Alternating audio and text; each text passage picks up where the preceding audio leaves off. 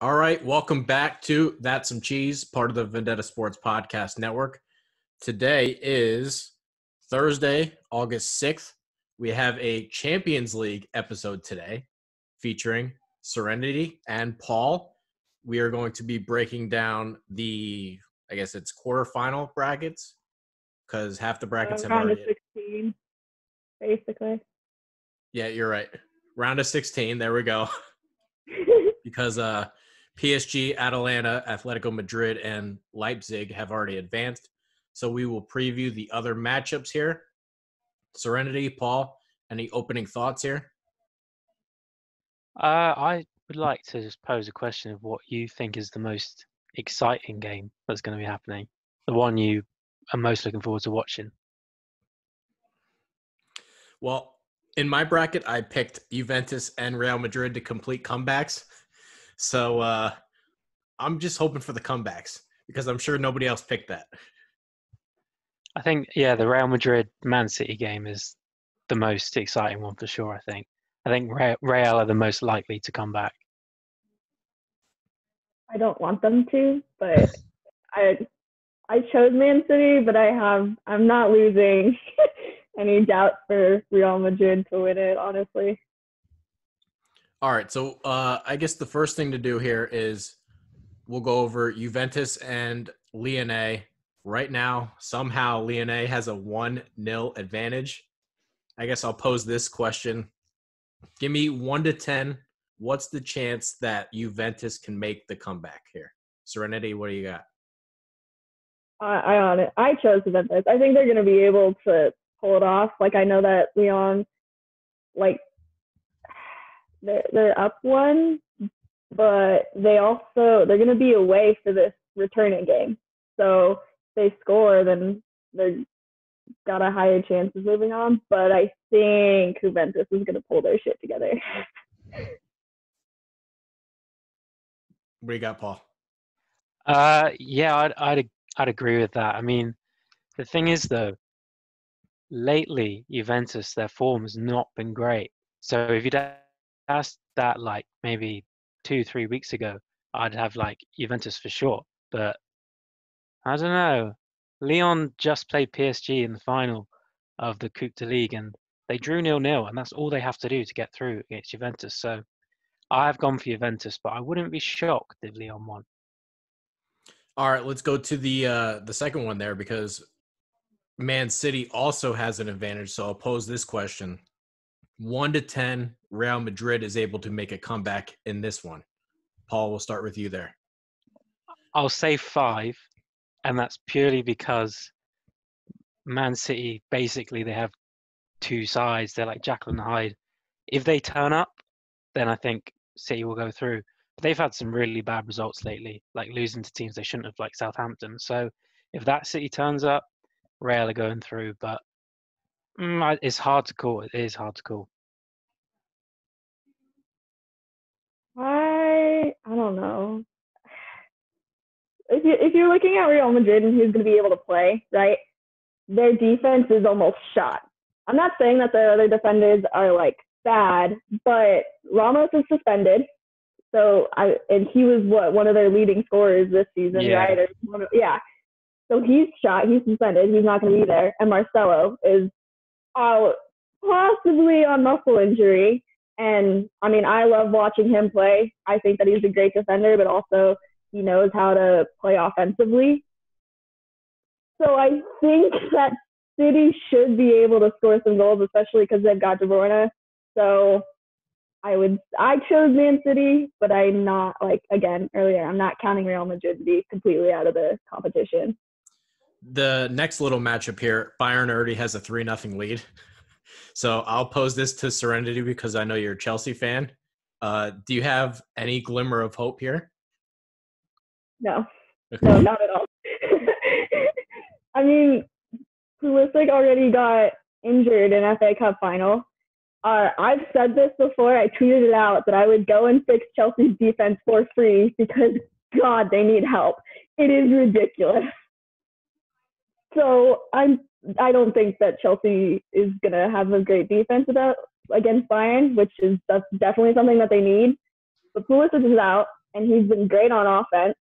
Uh, I, I don't know. Willian has been very iffy this season, so I don't know if they're going to be able to even score. I think Chelsea could probably pull off one goal, but Bayern for sure is going through. Yeah, uh, no need to spend a ton of time there. Uh, Barcelona, Napoli. I guess I picked all upsets here because I picked Napoli. The reason why is it feels like Barcelona. I don't know. Maybe they just aren't going to take them seriously. I know Napoli's down in the standings, but like last time, there's no reason why it should have been a draw. and Barcelona has had bad defense all year, so I feel like Insigne can get one little run going, and maybe that's enough. Let's start with Paul here. What do you have for Barcelona and Napoli? Yeah, I, am with you. I think I think Napoli could do it, and part of my reasoning as well is that it's really obvious that the Barca players don't want Setien in charge anymore, and Messi's come out and said that he'd like another manager, like Marcelo Bielsa to manage. So really, this could be their chance if they. I'm not saying they're going to throw the game, but if they lose, then there's a good chance that the manager's going to get sacked. So they can have their way. But basically, if Messi wants to win, he'll win. If he doesn't want to win, they'll lose. That's what I think. Go ahead, Serenity. Yeah, I've been really upset with Barca's defense because they're also my other team. So both my teams are stuck on defense this year. Great. Um, I I think that Piqué. I shouldn't say that he's the problem because he's still a good player, but he's pushing up so high. And you can just watch this season. Literally, there are so many goals that the other teams got just because, you know, Piqué was playing high or the defense was playing high. And Barca's team is not the youngest team anymore. So they're having trouble getting back. Um, I still chose Barca to go through, but again, wouldn't necessarily be surprised if Napoli could pull it off.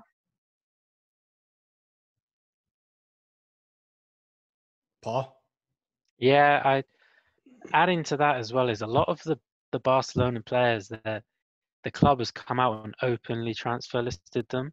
I mean, if I was a player and I knew the club wanted to sell me, like, I mean, it could go either two ways. They could want to play well so they get a good move to another club, or they just think like, what's the point? Like, I'm not going to be here for much longer.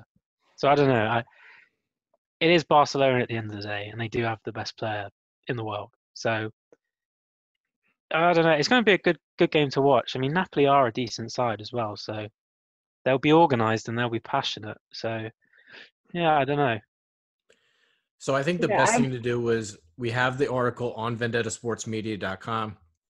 I'll link it in the description. All of our Champions League picks so I guess I'll go around and uh, each person can explain maybe their finals matchup and who they picked as the winner. So let's go to Paul here. You have Bayern and Atletico Madrid with Bayern winning. Let's hear yeah. your explanation for why you picked that. So I I have a massive soft soft spot for Atalanta, the Italian team. I think they'll beat uh, PSG, which is quite an unusual thing to say, but I just think they'll do it. And then Atletico playing RB Leipzig. Atletico are just organized as hell. Like Diego Simeone is just a very defensive coach, and I think against Leipzig they won't struggle. I think they'll get through quite easily. And then they're already in the semi-final, and they'll be playing Atalanta or PSG. And I'd back Atletico against either of them. So I think they'll get through to the final quite comfortably. Actually, I think they'll they'll defend their way to the final like they have done in the past. And then with Bayern, I mean, I, I was reading up before this, and they've won 17 games in a row, which is insane for like any side. And I just think the way they were playing when the Bundesliga started back up again was incredible. They got Robert Lewandowski, who's just been scoring goals for fun. I think if the Ballon d'Or was happening this year, he he probably would have won it.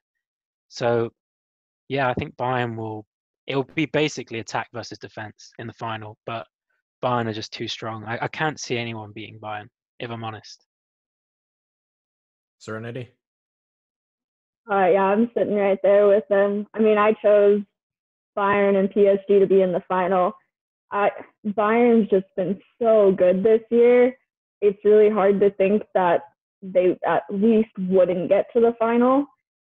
Um, and I chose Bayern over PSG just, I mean, besides them being super good this year, but I mean, PSG, they had, they've had a couple games, but they didn't get to return to their regular league because they can't go back until September. It could work to their advantage because they wouldn't be maybe as tired as, you know, all these other teams, but it just means that they haven't been practicing and getting in all the work this season. So I definitely think, yeah, I'm right there with Paul. I'm thinking Bayern's going to win it all. Another thing that goes against PSG as well is Mbappe being injured. Because I mean, he's he's unreal. I mean, they've still got Neymar, Icardi, Di Maria, but Mbappe is going to be a miss for any side.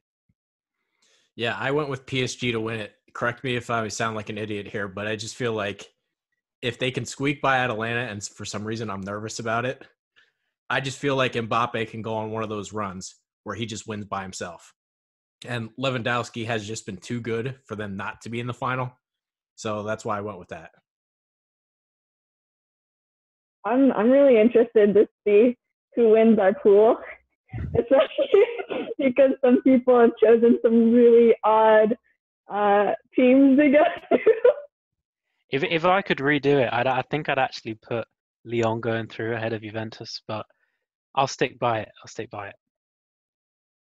I thought it was super funny because there were some. I mean, there were seven of us, and some of them we all we could all choose the same picks on the bra- on one side of the bracket, but the other side would be like completely different. So we all have different picks, and I think Paul and I are the only ones that choose Bayern to win. I think. Yeah, because Well- everybody's choosing either like Juventus or PSG. We I got want one. to thank uh, I want to thank Jordan for picking Chelsea over Bayern. That was a that was That's a, optimistic. that is optimistic. Uh, do we have any closing thoughts here? I guess we can do another quick little episode maybe after the uh, quarterfinals are over. Yeah, sounds good. All right, uh, Paul Serenity. Anything else to add here? Uh, okay. No. Wait, sorry, it just froze. I'm back now. I'm back. Oh, do you guys have anything else to add? Um, I think not having fans is going to help some teams as well. Whereas Is that the biggest advantage there?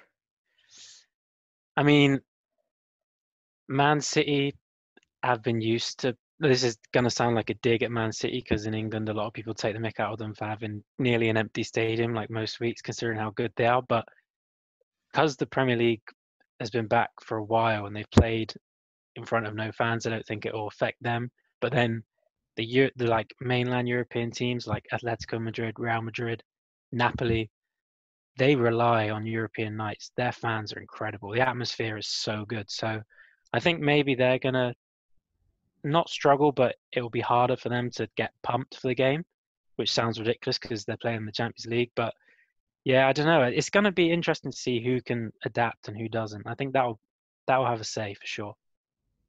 Serenity. It's Anything definitely else gonna be to add? different this year.